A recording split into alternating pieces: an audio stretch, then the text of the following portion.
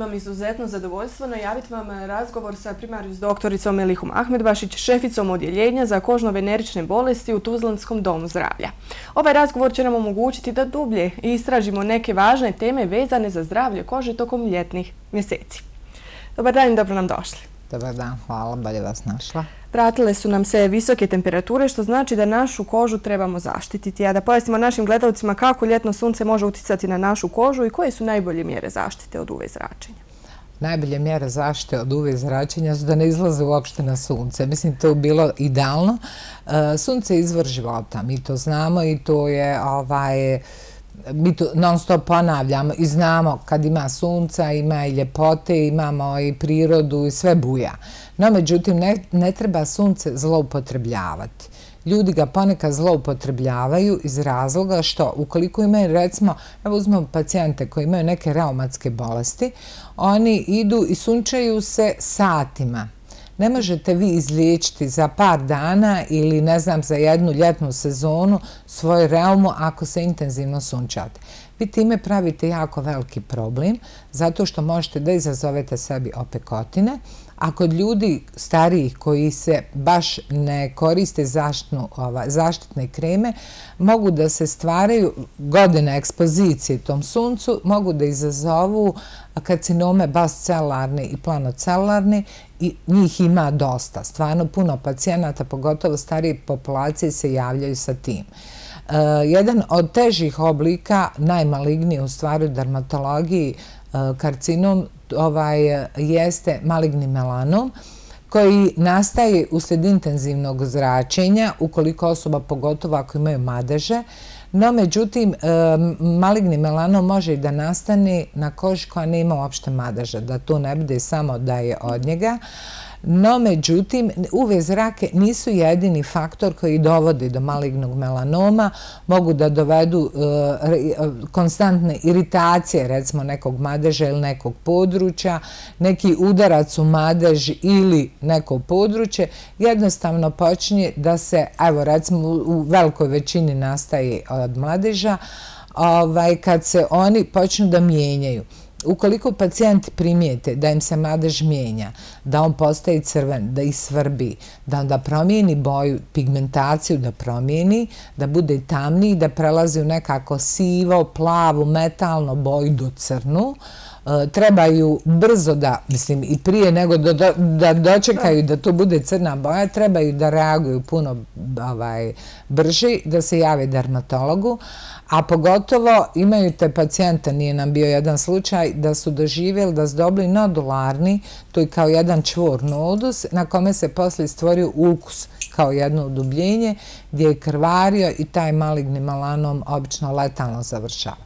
Tako da ukoliko pacijenti primijete neke fleke koje su im e, nepoznate, koji su nepravilnog oblika, da su crne ili nekako metalne ili sive ili plave boje, poželjno je da se jave odma, pa bolje i doći dermatologu deset puta džaba nego da zapustite se da nastane problem.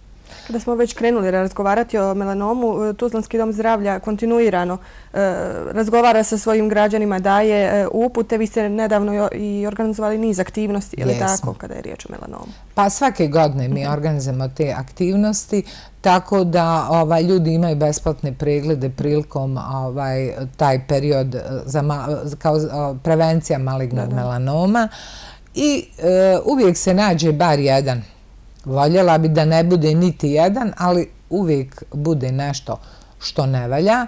Tako da ovaj, e, to je poželjno za urad, premda naši pacijenti mogu uvijek da dođu sa uputnicom i knjižicom da se pregledaju. Ne moraju čekati samo da to bude preventivni pregledi malignog melanoma, kad su preventivni pregled malignog melanoma, nego mogu da dođu kad god oni hoće, kad smatraju da je nešto nevelja, da im je nešto čudno, slobodno da dođu na pregled. Svaki dan mogu doći. Koje su najnovije metode liječenja melanoma i koje su prognoze za pacijente sa diagnostikom? Vam kažem, postoji više stepena za liječenje. E, najpovoljnije je in situ, onaj koji je površan skroz u epidermu. Za njega obično nema nikakvih problema, kao izliječenje 99%. On se, inače, maligni melanom ovaj, se u potpunosti mora iskružiti u malo širem području da ne bi došlo do njegovog širenja. Ukoliko već dođe da širenje na limfne čvorove i oni se tad skidaju, ako dođe do metastaza, to su već malo teži slučajevi, teži stepeni, tako da ima i tu izlječenja. Nije uvijek sve tako crno, međutim, ovaj, malo su teži uslovi za preživljenje. Jer obično se ono čeka pet godina kod, bez obzira je bilo da je to karcinom dojke ovog onog, po pet godina ako nema nikakvih problema, onda je sve kasnije u redu. E, za svaki, e, recimo za ove ulcerozne i nodozne, teško da se može, da mogu reći da može biti neko izlječenje. Obično letalno završavaju, ali ovi niži stepeni, pogotovo ovaj in situ, može se u potpunosti izliječiti. Tako da pacijenti ovaj, ima saradnja dermatologa, plašnog hirurga i onkologa gdje oni dolaze i nama na redovite ovaj, dermatoskopski preglede da slučajno se nije nešto novo pojavilo, no međutim ovaj, on to ozbiljno shvataju i otprilike mogu da kažem da je to ovaj, e, dosta izlječivo u današnje vrijeme. Kada je riječ znači, o prevenciji, najbitnije je samo pregled i pregled kod Samo pregled i pregled kod dermatologa. Kažem, bolje i doći deset puta onako džaba, da kažem, nego da, da se vi razmišljate sami, pa nek vam dermatolog potvrdi je li nešto ozbiljno ili nije. A kada govorimo o zaštiti od UV zračenja, da se vratimo na onu e, isto mhm. našu prvu temu, koju visinu SPF-a preporučujete za svakodnevnu upotrebu e, ljeti? Kako ga pravilno koristiti? Za lice pretpostavljamo da trebamo koristiti veći faktor nego za tijelo. Vam kažem, ukoliko idete na kupanje, znači idete na more ili nije bitno kod nas Panonska jezera su tu, e, potrebno je koristiti, ja sam pristalca da se koristi, imate emulzije, ovako fluide takozvane koji imaju sve 50 plus faktor koji su jako razmazivi i jako su dobri. Ne mogu sad firme nabrajati, ali ima ih u apotekama puno i poželjno je nama za cijelo tijelo. Kad se izlazi napolje i postoji s tim istim fluidom, možete da namažete lice. Kad se maže lice, obavezno i uši da namažete. No, međutim, imate i kreme koje su ovaj, zaštitna 50 plus faktor. Ukoliko pacijenti imaju madaže po koži, poželjno je uzeti tada zaštitnu kremu 50 plus faktor, ali sa mineralnu. I kad vi to namažete, stvarno ima jako dobru zaštitu. Evo recimo primjer, ako namažete madež pa ono malo ono područje oko njega malo jače, E, toliko ono fino štiti da ono ostane okolo kao halo, jedan bijeli krug i tu se vidi da je krema stvarno dobra. Imamo faktor do 80 na našem tržištu. Nedavno jedna firma ovaj, e, na tržište izbacila svoj krem sa 80 faktorom. Kad je jako sunce, ja preporučujem 50 plus. A kad je onako blaži ili neko koje ima više pigmenta, ako brzo crni, poželjno je da koristi kremu, ali on može nju 30 faktor tamniji. No, međutim, svijetle osobe ipak trebaju 50 plus ako hoće da budu zaštićene. Ja sam inače pristalca, vam kažem, sve zavisi, sve su tu skupi preprati. I ja sam pristalca, pa bolje da kupite i neki blaži, da kažem, neki nerazvikani proizvod, i 15 i 20 faktor nego ništa. Zabluda je da ljudi koriste ulja za sunčanje. Neko hoće da dobije neko hoće da dobije i neku boju, pa onda počne intenzivno da koristi ulja. E, masnovo ulje uopšte to nije nikakva zaštita. To vam je baš ulje koje još više privlači kožu, ovaj sunce koži, tako da može da izazove opekotne.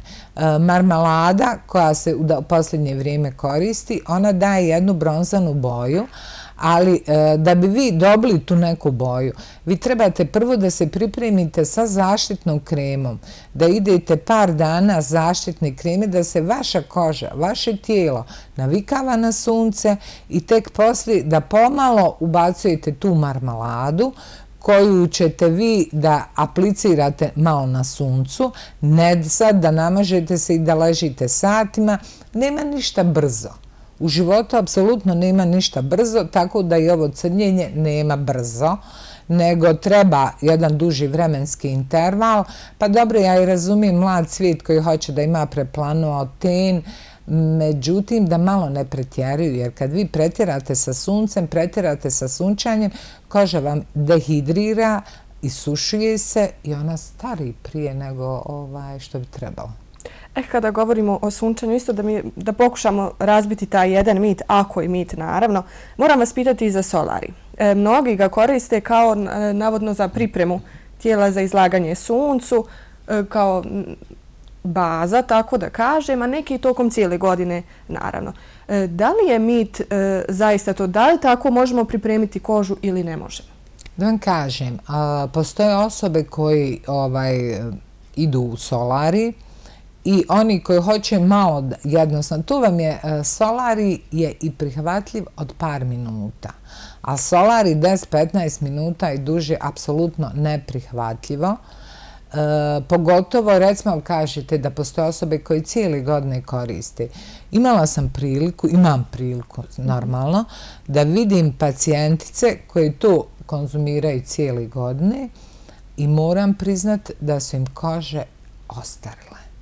Baš primijetite da je to dehidrirana suha i prije reda izborana koža. A tu su mlade osobe. Tako da ja nisam, ovaj, inače mi dermatolozi nismo baš, ovaj, ne preporučujemo u stvari e, solari. E, kažem, iako neko želi tek toliko da malo kao pripremi se, to nek bude od par minuta, nešto duže ne. E, zaboravila sam vas pitati također za e, kada koristimo SPF faktor u svakodnevno. Svakodnevno znači kada nosimo make-up. Da li je u redu staviti ga prije, da li ćemo imati nekih problema sa kožom? Nikakvih mhm. problema. Kad urate jutarnju njegu koži, da je dobro očistite, operete, stavite kremu koja vam odgovara, mhm. vašem tipu koži ili koja pa, ovaj, klijent odgovara. Poslije toga kad e, lice upije tu kremu, poslije toga stavljate zaštitnu kremu. Kad je zaštna krema upla, preko toga slobodno smijete puder da stavite i make-up bez ikakvih problema. Imate vi sad recimo i za fleke, vi znate efalide i one hiperpigmentacije koje se javljaju i one se javljaju godinama. Pa nekom se javi od sunce, nekom se za vrijeme trudnoće pojave i e, njih je potrebno skidati koliko se može. Ima sad preparata na tržištu, a ima i prirodnim putem što se može, pa lijepo kombinovati jedno i drugo. Imate sad kreme koje se koriste za noćnu njegu, to su optional rich bogate kreme, a imate i kreme koje se koriste za dnevnu njegu, za skidanje, ublažavanje tih fleka, a u sebi imaju zaštni faktor tako da možete koristiti kao kremu koja će vam smirivati te hiperpigmentacije, a ujedno ima zaštni faktor. Jer ukoliko vi imate hiperpigmentaciju na licu i kad se vi intenzivno izlažete suncu, evo recimo u ljetnom periodu, a onda vi i što hoćete i što nećete, malo vas uhvati sunce, onda e, te ovaj, hiperpigmentacije postaju sve tamnije. Tako da e, sunce u stvari samo ih još više oštećuje i neophodno ih je tretirati. Pa imate prirodni proizvod da uvijek možete, recimo, limun lijepo ovaj, regenerše kožu i može da izbijeli, pa imate čaj od pešuna, pa imate tako ti prirodni preparata koje se mogu koristiti, a imaju kremama u apotekama, pa lijepo je jedno i drugo iskombinovati, daju dosta fine rezultate moramo spomenuti i ljetne alergije. Koje su sada aktuelne, kako se zaštititi, kako ih prepoznati?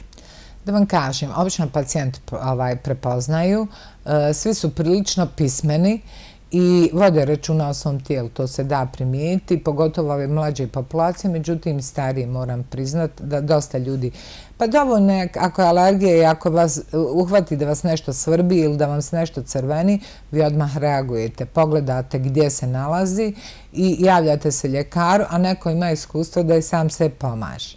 Postoji kreme koje se koristi u tom ovaj, slučaju, a ujedno postoje antihistaminci tablete koje se piju da smanjite svrbež, da smanjite to crvalo.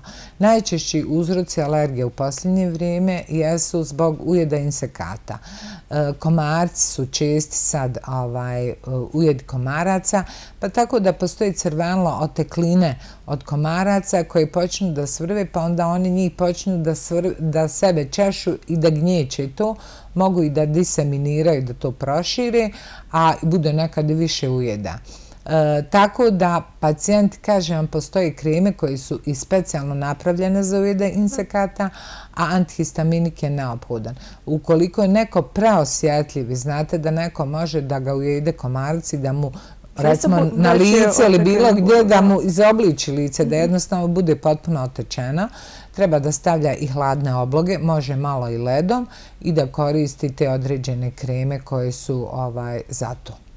Za kraj razgovora, molim vas, imate li još neki savjet za naše e, gledalce tokom ovih e, ljetnih dana, na što da obrate pažnju? Ja im preporučujem da se ne izlažu previše suncu. Eh, sunce vam daje, kažem što sam rekla na početku izvor života, vitamin D3 dobiju.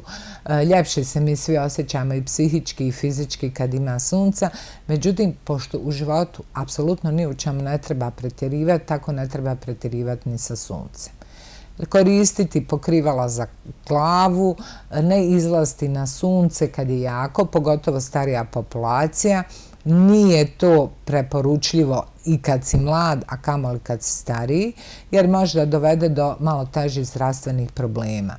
E, Štititi kožu, naravno, ko što sam nabrojala, sad postoji ti ovaj, kreme sa visokim faktorom i koristi što više hladovno da vam to sad ne bude, ovaj, da, da, se, da se ne osjećate ružno na suncu, nego da vam to baš bude onako relaksacija, da se lijepo osjećate, ljepše u hladovni sjedite. Hvala vam mnogo što ste izdvojili vrijeme i govorili za našu televiziju i što ste dali sve ove jako bitne e, savjete našim gledalcima. Hvala. Poštovani gledalci, naša gošća ovoga četvrtka bila je primarius doktorica Melih Ahmedbašić, šefica odjeljenja za kožno-venerične bolesti u Tuzlanskom domu zdravlja.